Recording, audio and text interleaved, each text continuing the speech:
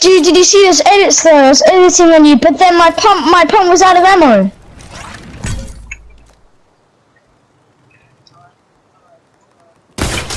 Easy!